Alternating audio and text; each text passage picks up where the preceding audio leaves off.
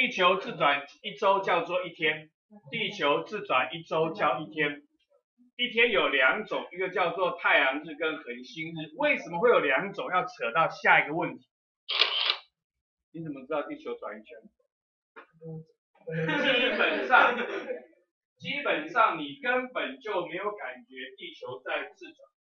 那你怎么知道地球已经深能观察自转一圈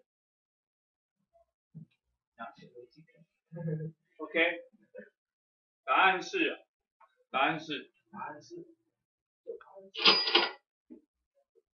来，小帅哥美女，前面有一个电风扇，我的前面有一个电风扇，现在电风扇在我的前面，好，我还转，转，电风扇，电风扇又回到我的前面，表示我已经转一圈了，现在在我的前面，然后又回到我的前面，表示已经转一圈，所以。找一个远处的参考点，参考点连续两次出现在相同位置，就表示你已经转一圈了。如果你的参考点是太阳，就称之为太阳日；如果你的参考点是恒星，就称之为恒星日、恒星日。好，所以远处参考点两次出现在相同位置，表示自转一周。好参考太阳的叫做太阳日，参考恒星的叫做恒星日。那这样，所以天文学的说法是，恒星两次通过子午线叫做恒星日，太阳两次通过子午线叫做太阳日。子午线讲前面跟你提过，就是你把那个地球的经线放到天上，称之为子午线。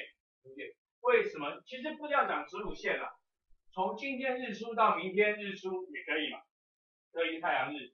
从今天日落到明天日落也可以叫太阳日。那天文取子午线，因为子午线最高，不会被挡到。你取那个地平线可能会被遮住，所以天文上取子午线比较高，不会被挡住。所以天文上学的是说两次通过子午线。好，恒星两次通过子午线叫恒星日。太阳两次通过子午线叫做太阳日，太阳日跟恒星日不一样长，太阳日比较长，恒星日比较短，差多久了？大概要差四分钟。所以，因为现在过日子是用过日子是用太阳日过日子，所以说法上就变成恒星每天提早四分钟升起。恒星每天会提早出现，就是今天恒星出现这个位置，明天从出现位置的时间大概会提早四分钟，四分钟，这是因为地球会公转的关系，这是地球会公转，这是地球会公转的关系。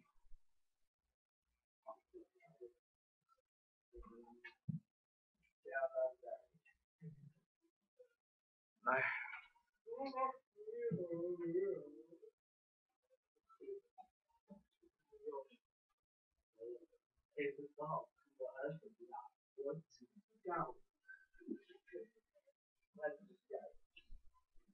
那为什么地球会公转就会造成它不一样长？为什么公转造成它不一样长？你解释。来。我们现在呢，这个远处恒星，这个是太阳，所以呢转到左边，转到左边表示太阳在前面。我们讲过画在前面表示什么意思？通过子午线。那在右边表示远处恒星通过子午线，所以这样表示这样子两个的绿色地方，左边右边表示太阳通过子午线。就是所谓的正午，然后远处是所谓的成交叫做子夜，就我们现在图上是子夜时分，OK。好，假如地球不会跑，假如地球不会跑，那么转一圈回来又一样嘛，对不对？现在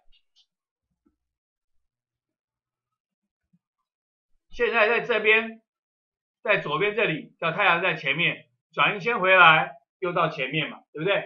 所以没有差。所以如果地球不会跑，那就没有差，转一圈又重新回到子午线没有。但是问题地球会跑啊，会跑掉啊，跑掉之后呢，可是远处恒星是无限远平行光，所以刚才是这样子通过子午线，现在还是通过子午线呢，没有差。可太阳就不是啊，太阳转一圈回来之后，太阳就没有在我的前面了，它要再多转一点点呢，它才会重新回到我的前方，才会回到子午线上。所以太阳要比太阳要看太阳。的话，要比转运现在多一点点的时间，所以太阳日的时间比较长。那要长多久呢？就要长地球自转这个角度的时间，上面这个角度的时间，这个角度跟下面这个红色角是一样的。为什么？平内错角相等，这两，所以所以地球要多自转一个角度，什么角度？就是地球公转一天的角度。公转一天的角度，那地球公转一天走几度啊？公转一圈三百六十五又四分之一天，就三百六十又四分，大概一度了哈，大约一度了哈，三百六十四分之一圈，那往里面乘，一圈二十四小时，往里面乘，要六十分钟，这样乘出来就大概多少？四分钟，所以我们就说太阳日比恒星日多多少？多四分钟，多四分钟，但是。啊，这是一个平均的大概的状况，但是我现在过日子是用，我现在过日子是用太阳日过日子，所以就变成叫做恒星提早四分钟升起。那问题是刚才讲说为什么为什么太阳日跟恒星日不一样长？是因为地球会公转多跑了一个角度，那地球要多自转这个角度。但是地球的公转速度没有一样快，近日跑得快，远日跑得慢。国中生降机就够，高中生就会变成克普勒三大行星定律之一，高中的事情。国中要记得近日跑得快，远日跑得慢。所以太阳日每一样都角从多走角度一不一样？不一样。所以就是太阳日每天都不一样长。太阳日每天都不一样长，那我们取平均值叫做所谓的平均太阳日。开学的理化会讲这个，开学理化会讲这个，OK？平均太阳日，所以因为地球的公转速度没有一样快，近日跑得快，远日跑得慢，所以每个太阳日的时间都不一样长。你太阳日时间都不一样长，所以我们有取个平均值叫做平均。太阳日，平均太阳日，可以吗？可以。